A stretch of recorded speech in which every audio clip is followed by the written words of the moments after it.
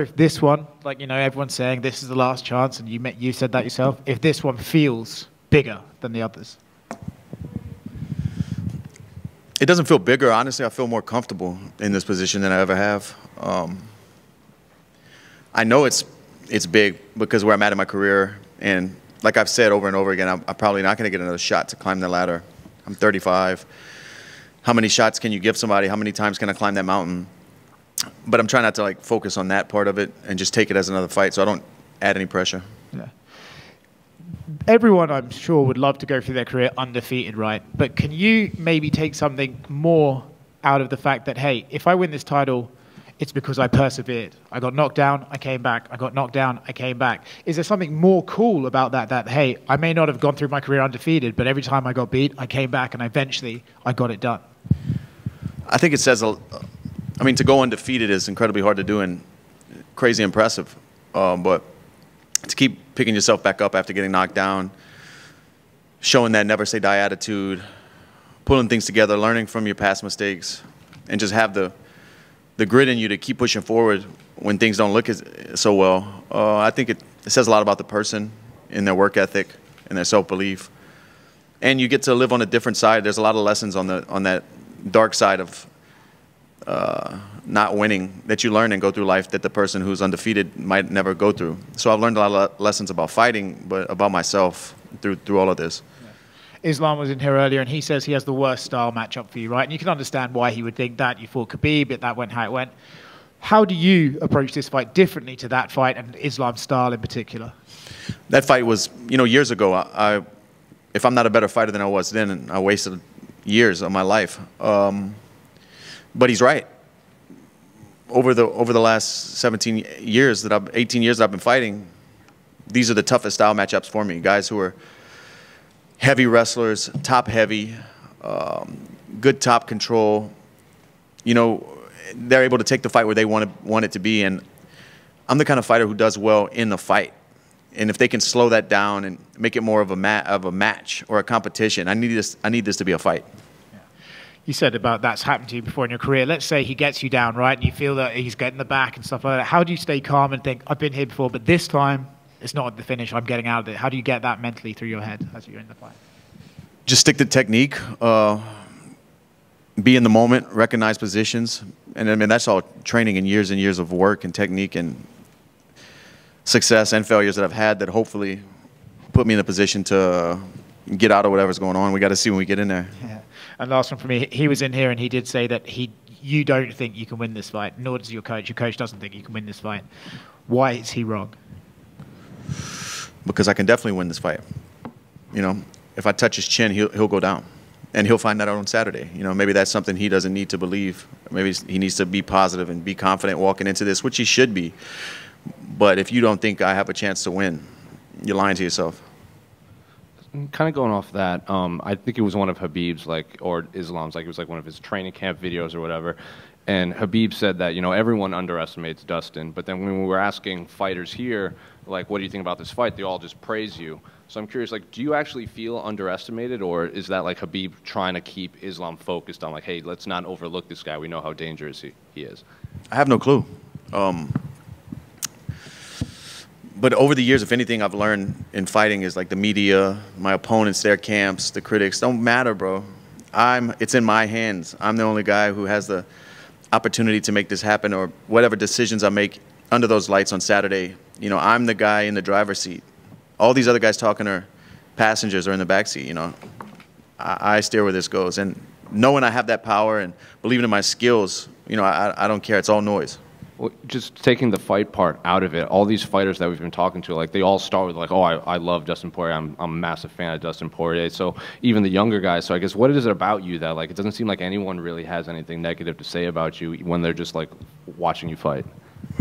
Because maybe I, I've been fighting for so long. Um, they grew up watching me fight. You know, they were just getting into MMA when I was fighting on a, on a big stage. I'm not sure, and, and also the style of fights that I have. Every time I go out there, it's a fight. You know, I'm gonna, it's kill or be killed. I know that that's used a lot. People oversay it, but it's true. I'm gonna finish Islam or he's gonna finish me. That's just the way I fight. And I know everyone's going to compare Khabib and Islam, but Islam was in here, and his, even his coach said, like, you know, Islam, he thinks he has better boxing than you, wrestling, whatever. So I'm curious, when you do look at Islam's whole game, how would you rank, rate his striking in there? Uh, because, you know, he said he's a high level boxer, too. And I believe him. But I would touch him up in a boxing match. And uh, I don't know if he really believes that. Of course, anybody can land a shot and, and get beat, but I will box this guy. I will box his shoes off. Last one for me. Uh, he was saying that the new gloves feel a little stiff, and he's had to ask for multiple gloves because they kind of get worn out after a couple uses. So I'm curious, what do you think of the new UFC gloves?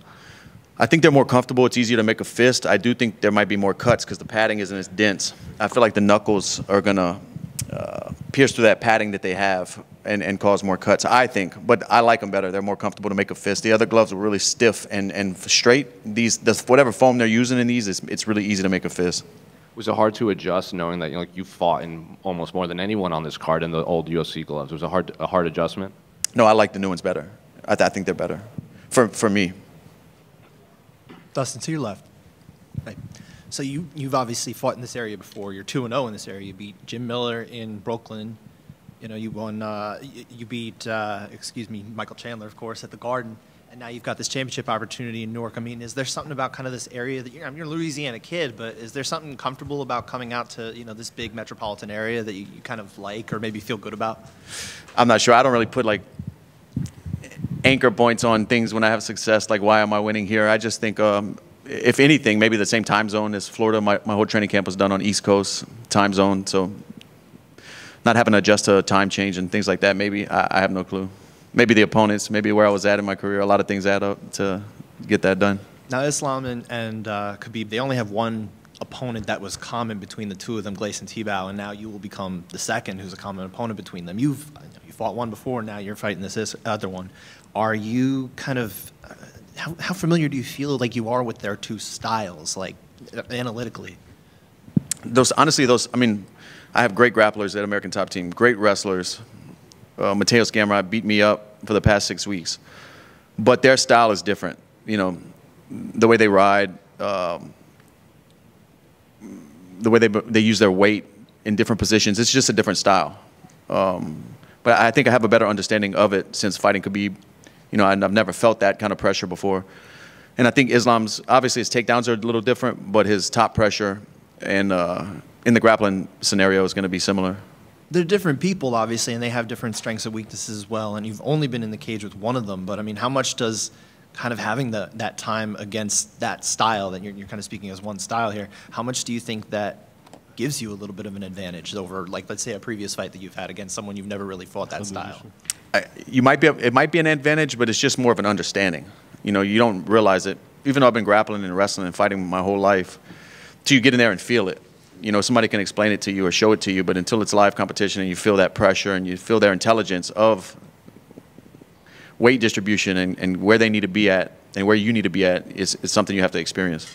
You talked about being content with your career. That, that's, that's something that you'd really like to, whenever the things are done, you'd like to be content. I mean, when, when have you felt most content with your career to this point? I mean, over the years, more and more of my, uh, my peers, you know, giving me flowers and saying nice things or they respect the way I fight and stuff like that, that's kind of put me into that motion where I, I do feel like, okay, I made an impact. I'm respected by my peers. That means something to me. But I don't know, like, I always feel like there's something else to do. There's more to do. I don't, that's what I'm battling with myself. I hope I can – one day wake up and be content with everything. What about the interim belt? Obviously, it, it wasn't the main belt, right? And I understand that, but it, it, there must be some level of accomplishment, feeling like, okay, I, I have to this point walked away with something. It was UFC gold. You have it. It's in your house, I assume, right, or at your gym or somewhere. Yeah, it's in my house. Yeah. I mean, yeah, I have a UFC title that says world champion with my name on it in my living room. Um, and you know, I, I hold that belt up high because Max, when I beat him for that belt, was on a 12 fight win streak. He was the current featherweight champion at the time, so it's not like I pulled the name out of a hat and beat somebody for an interim title because the champ couldn't fight. I mean, I fought a world champion, a multiple-time world champion, and uh, that's a huge win. So it's a, it's up there, but it's not undisputed. That's the like I said it over and over again. That's the last spot. What else can I do in the sport? You know, I, am not I'm not bragging up here, but man, I've been fighting so long, and of my generation, I've fought the best guys at 155 pounds in the world. Some of them twice.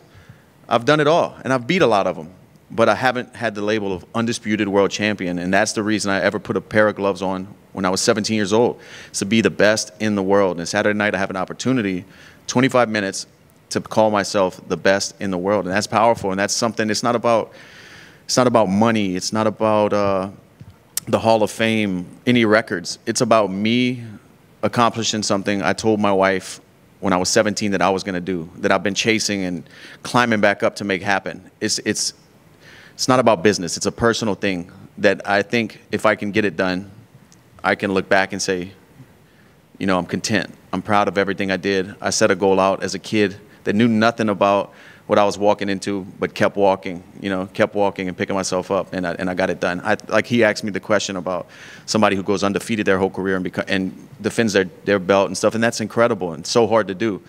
But somebody who's been thrown away, somebody who's been underdogged, somebody who's been beat and broken, and put themselves back together and really fucking did it, you know, that's what I'm after.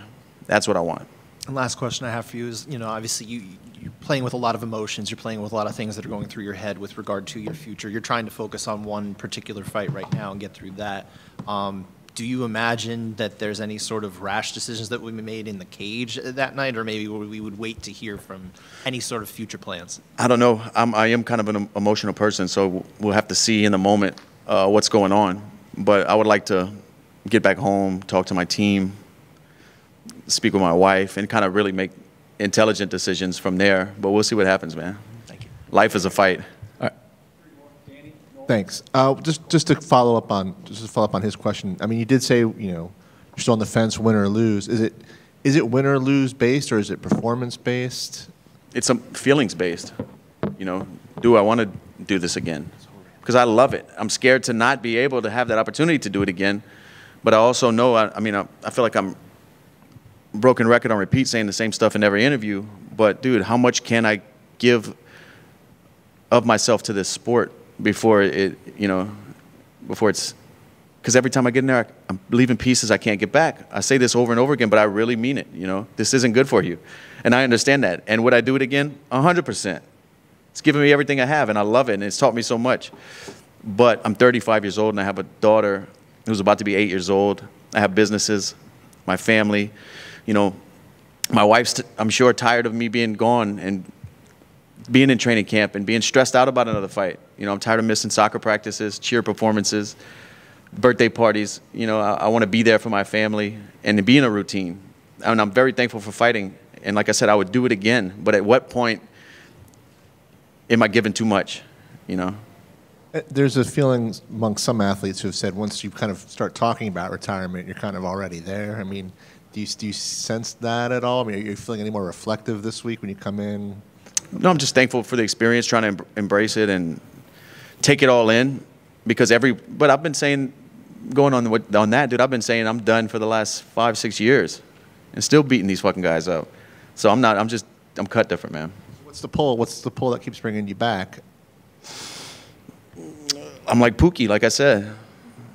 I just can't get enough. Like even though I think I have my fix, I'm back home barbecuing, watching football, have my daughter's soccer game, and I'm like, I got to scratch this itch, man. I have to fight somebody. And I think that's going back to when I was a young kid.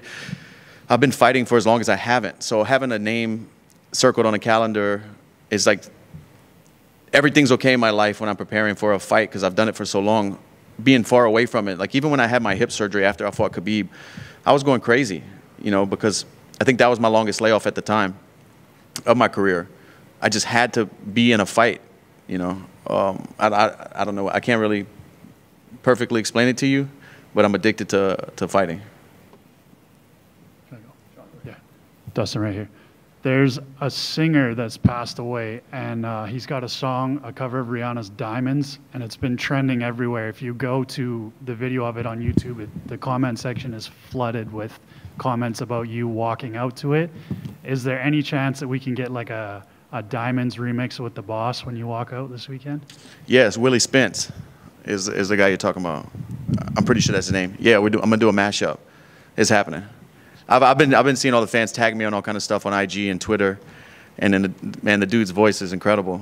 And uh, I just think another title fight, lights are off, you hear that powerful voice, I come out, it's just time. Lafayette Street, Lafayette's in the house, I become the world champion. And last questions I got two is I know you're trying to find legacy and all that, but is there anything interesting about maybe just getting a really amazing paycheck every year and beating up Conor every single year until he gets tired of it? Yeah, that would be nice too. Uh, I mean, but what? If, that's another thing. Going back to like, how much do I want to give? What am I fighting for at that point? Just checks, the, the big fights, just to be in the in the in the rush. It's like I'm trying to to balance these things. Like, I have enough money. I'm, me and my family are okay. I don't have to keep beating myself up and being stressed out and grinding through these training camps and walking into the unknown over and over again. Um, I don't want to. I'm at a point where I don't want to fight just to fight. But I'm, it's the thing. The problem is I'm addicted to it. So I might battle with myself every day. You know. So since you've got other avenues of supporting your family, how are the hot sauce sales? They're great, man. When are we getting a new flavor? I'm not sure. Three was the goal uh, to get to because the three pack is, is is nice, you know. But I do want to do a jerk sauce. I have a bunch of ideas that I want to do. I want to do a barbecue sauce. I have a bunch of things. Appreciate you giving me the bottle last time in uh, the garden. That was very delicious. We enjoyed it a lot. Thank you. Thank you, man.